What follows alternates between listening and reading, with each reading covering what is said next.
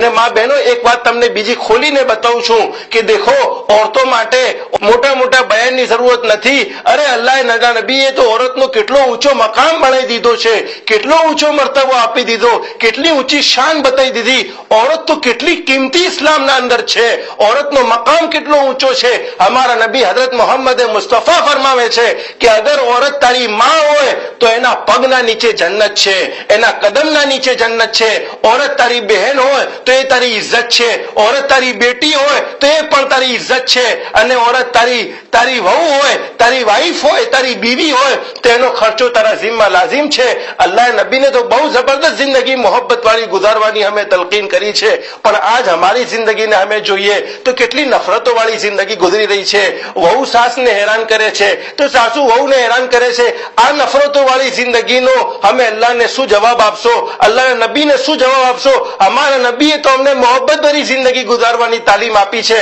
હું એક વાત તમને બતાવું છું. આજ ઓરતો અલ્લાહે તમારું કેટલો ઊંચો મકામ બનાવી દીધો. પણ અલ્લાહના નબી હજરત મોહમ્મદ મુસ્તફાની વાત સુનો. અમ્મા આઈશા સિદ્દીકા રદી અલ્લાહ જે અમારી માં છે અલ્લાહના નબી હજરત મોહમ્મદે મુસ્તફાની વાઈફ છે અલ્લાહના નબીની ઘરવાળી છે અલ્લાહના નબીની બીવી છે એ હજરત આઈશા ફરમાવે છે કે એક મર્તબા મારા નબી હજરત મોહમ્મદ મુસ્તફા સલ્લાહુ અલહી વસલમ સાહબાઈ કિરામના વચમાં બેઠા હતા એક ઊંટ આવ્યો ઊંટ આવ્યો અને અલ્લાહના નબીને સજદો કરવા લાગ્યો અલ્લાહના નબીને સજદો કરતો જોઈને સાહબાઈ કિરામે જોયું કે ઊંટ અલ્લાહના નબીને સજદો કરે છે ઊંટ અલ્લાહ અલ્લાહના નબીના સામે ઝૂકે છે. ઝૂકવું તો કોઈના સામે જાયઝ નથી. અરે વલીની કબરના સામે બી ઝૂકવું જાયઝ નથી. અલ્લાહના સામે ઝૂકવું જોઈએ. અલ્લાહના સામે આપણી પેશાનીને ઝુકાવવું જોઈએ. આપણું માથું ઝૂકે તો અલ્લાહના સામે ઝૂકે. એટલે કે બધી જરૂરતોનો પૂરા કરવા વાળો તો એક અલ્લાહની જાત છે. બધી દુઆઓને કબૂલ કરવા વાળો તો અલ્લાહની જાત છે તો એ હજરત આયશા ફરમાવે છે કે ઊંટ આવ્યો અલ્લાહના નબીના સામે સજદો કર્યો અને સાહબાઈ કિરામે જોયું કે આ ઊંટ અલ્લાહના નબીને સજદો કરે છે તો સાહબાઈ કિરામે કીધું અલ્લાહના નબી અલ્લાહ નબી આ ઊંટ છે જાનવર છે એ જાનવર આપને સજદો કરે છે અરે આપને તો ઝાડ બી સજદો કરે છે મખલુક બેજાન મખલુક બી આપને સજદો કરે છે અલ્લાહ નબી તમે ઇજાઝત આપો તો અમે પણ તમને સજદો કરીએ તો અમારા નબી ફરમાયું ના સાહબા તમારે સજદો કરવાની જરૂર નથી તમે તો અલ્લાહની ઇબાદત કરો અલ્લાહને રાજી કરો હા અગર હું કોઈને સજદા કરવાની ઇજાઝત આપી દેતો કે અલ્લાહના સિવા કોઈને સજદું કરવું જાયઝ હોતું તો હું ઓરતને કહેતો એ ઓરતને કહેતો કે એના શોહરના સામે સજદો કરે શોહરના હાલાકી જાયઝ નથી પણ અલ્લાહ નબી ફરમાવે છે કે અગર કોઈને સજદાની ઇજાઝત મળતી તો ઓરતને હું કહી દેતો કે તું તેરા તારા શોહરના સામે સજદો કર પછી અમારા નબીએ ફરમાયું કે ઓરતના જિમ્મે શોહરનો આ હક છે કે એનો શોહર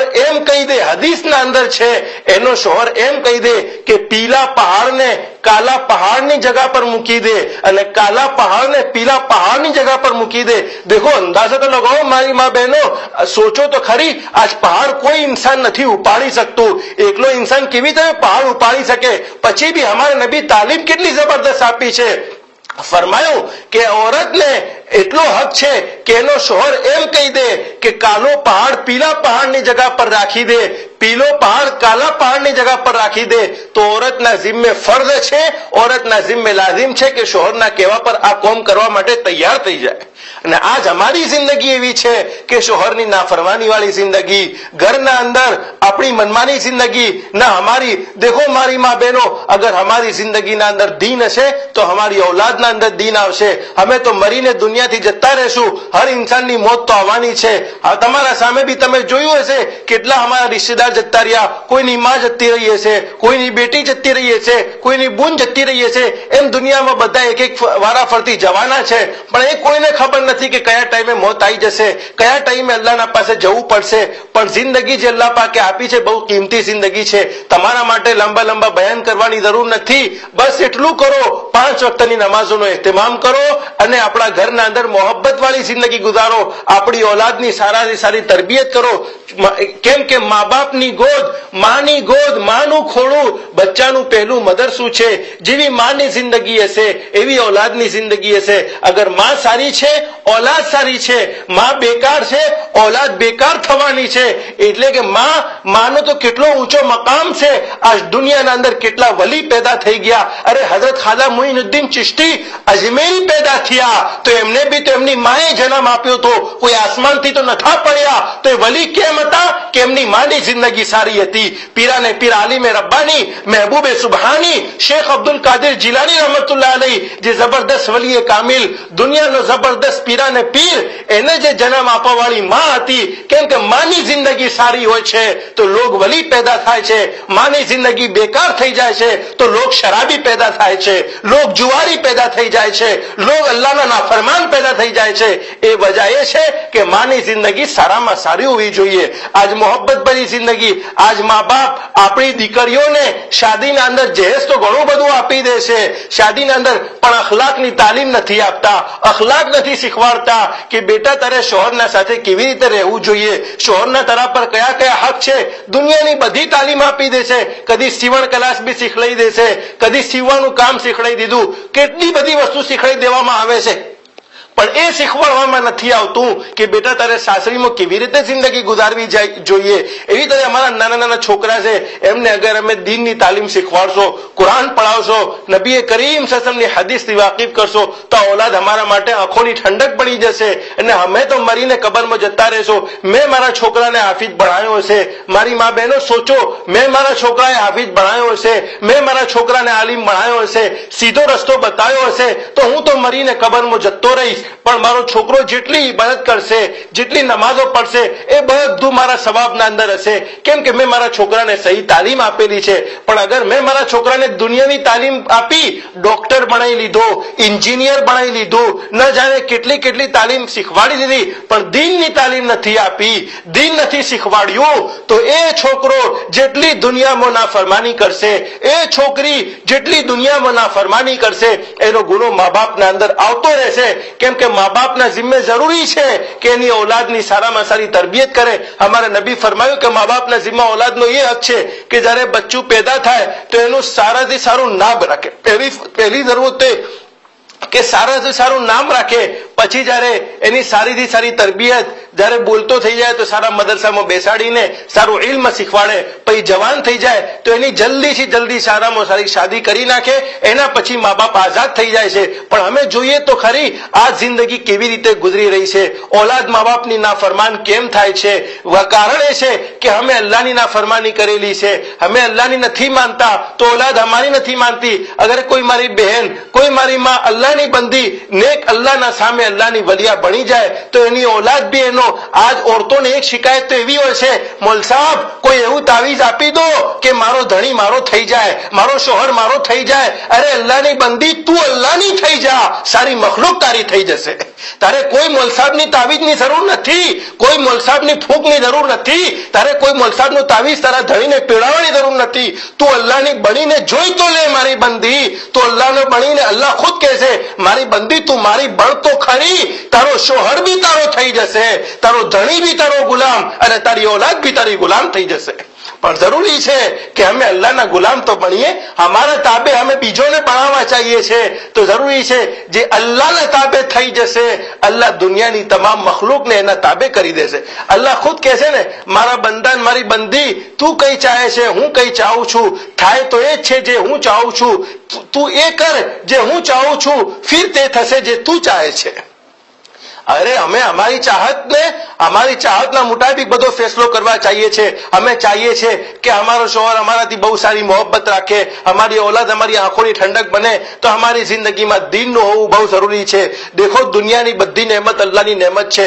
માલ હોય બહુ મોટી નહેમત છે અલ્લાહની માલ બહુ મોટી નહેમત અગર દીન નથી તો માલ એ માલ નથી બલકે આઝાબ છે એ નહેમત નથી એવી રીતે ખૂબસૂરત ઓરત હોય ખૂબસૂરત વાઈફ હોય પણ એના અંદર દીન નથી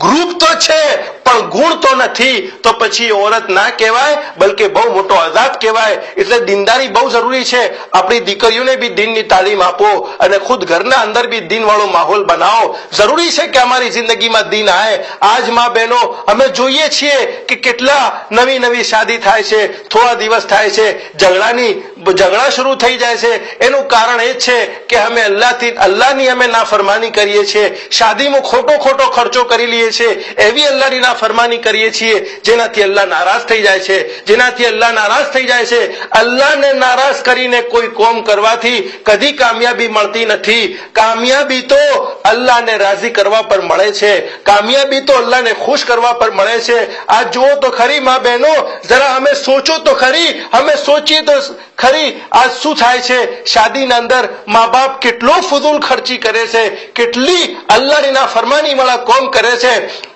દીકરીથી મા બાપને એટલી મોહબ્બત હોય છે, એટલી મોહબ્બત હોય છે કે હું કહું છું કે જે વખત દીકરી, દીકરીને મા બાપ રૂખસત કરે છે, ઘરમાંથી બીજાને હવાલે કરે છે, એ વખત બાપના દિલ પર એક પહાડ તૂટતો હોય છે, માના દિલ પર એક પહાડ તૂટતો હોય છે, પણ મા બી એનું દુઃખ કોઈના સામે કહી નથી શકતી, દિલ દિલમાં રોવે છે. બાપ બી એનું દુઃખ કોઈના સામે કહી નથી શકતો, દિલ દિલમાં રોવે છે. અને એ મા બાપ જેને એની દીકરીના તમામ લાડ પૂરા કર્યા હોય છે, એટલી મોહબ્બત આપેલી હોય છે, ને આજ અલ્લાહના અને અલ્લાહના નબીના હુકમ પર કોઈ બીજાને હવાલે કરવામાં આવે છે. અરે એક તો બાપ હું એ કહું છું કે જે વખત મા બાપ આપણી દીકરીને રૂખસત કરે છે, આપણી દીકરીને સાસરે મોકલે છે, એ વખત માને પેન આપી દેવામાં આવે ને એક નોટબુક આપી દેવામાં આવે, બાપને પેન આપી દેવામાં આવે ને એક નોટબુક આપી દેવામાં આવે અને મા બાપથી કહેવામાં આવે કે તમે તમારા ગમ લખવાનું ચાલુ કરી દો, તમારા દુઃખ લખવાનું ચાલુ કરી દો,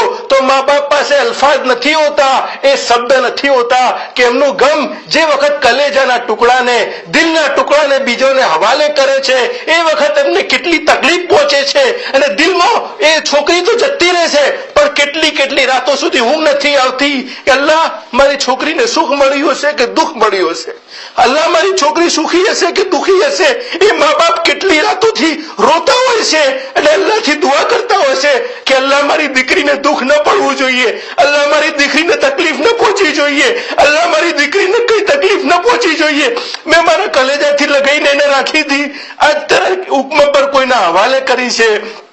થોડા દિવસ થાય છે. થોડા દિવસ થાય છે. પછી ખબર પડે છે કે દીકરીને તકલીફ પહોંચી છે. દીકરીને દુઃખ પહોંચ્યું છે. એ વખત મા બાપ અફસોસ કરતા રહી જાય છે કે અલ્લાહ અલ્લાહ આ શું ગુનો થઈ ગયો? અલ્લાહ આ શું નાફરમાની થઈ ગઈ? અલ્લાહ આ શું પ્રોબ્લેમ થઈ ગયું? કે મેં તો કેટલા સારા ઘરમાં રિશ્તો કર્યો હતો. કેટલા સારા ઘરમાં છોકરીને આપી હતી. ને આ છોકરી મારી મારા સામે શિકાયત કરી રહી છે. એનું કારણ એ હોય છે મા બહેનો, એનું કારણ એ હોય છે કે હવે આપણી ઓલાદને દુનિયાની તાલીમ આપી હોય છે, દીનની તાલીમ નથી આપી હોતી, એટલે ઝઘડા થાય છે કે ઓરત શોહરના હક નથી સમજતી, ને શોહર જાહિલ છે તો ઓરતના હક નથી સમજતો, તો આ બુનિયાદ પર અમે આ શું જોઈએ છે કે પ્રોપર્ટી કેટલી છે, માલ કેટલો છે, એ બુનિયાદ પર રિશ્તા થાય છે. દીનદારીની બુનિયાદ પર રિશ્તા થતા નથી અને અલ્લાહની નાફરમાની એટલી હોય છે રિશ્તાના અંદર, એટલી હોય છે,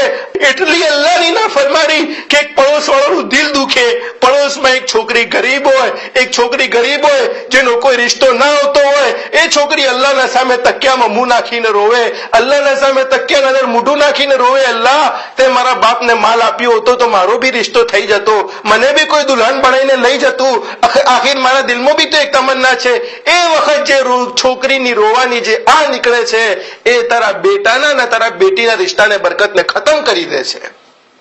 આજ અમને ખબર નથી કે અમે કેટલી અલ્લાહની ના ફરમાની કરી લીધી છે. હરમાં ચાહે છે કે મારી દીકરી સુખી થઈ જાય, મારી દીકરીને સાસરીમાં દુઃખ ન પહોંચે, તો માં બહેનો જરૂરી છે કે તમે તમારી દીકરીને સુખી જોવા ચાહો છો તો જરૂરી છે કે બીજાની દીકરી લાવો તો એને બી સુખ આપવું પડશે. જેવું કરશો એવું ભરશો जैसी करनी वैसी भरनी ना मानो तो करके देखो जन्नत भी है दोजख भी है ना मानो तो मर के देखो દુનિયામાં જેવું કરશો એવું તો ભરવાનું છે છે અગર સારા ફલ બોયા હશે તો સારો નતીજો આવવાનો છે ખરાબ ફલ બોયા હશે તો ખરાબ નતીજો આવવાનો છે પણ આ બધી વસ્તુ જરૂરી છે મા બાપ ચાહે કે મારી દીકરી એના શોહરની શિકાયત ન કરે એના શોહરનું દુઃખ બયાન ન કરે તો મા બાપને ચાહીએ કે મા બાપને જરૂરી છે કે એની દીકરીને સારાથી સારી તાલીમ આપે સારાની સારી તાલીમ આપે કે બેટા દેખ હવે તને રૂખસત કરી લીધી છે તું અમારી દીકરી છે હાલ બી દીકરી હતી કાલ બી દીકરી છે મોત સુધી અમારી દીકરી છે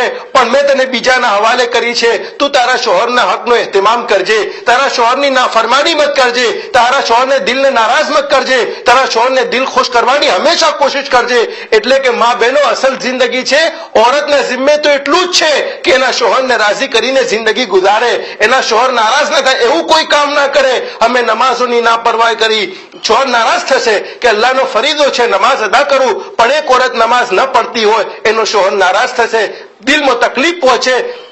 બીજી વાતમાં બહેનો આ